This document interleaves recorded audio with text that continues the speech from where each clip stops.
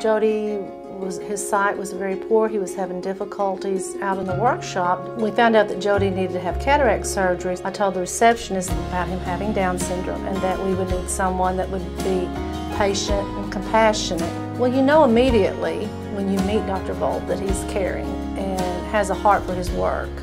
Dr. Vold is very pleased with his progress. He sees so much better.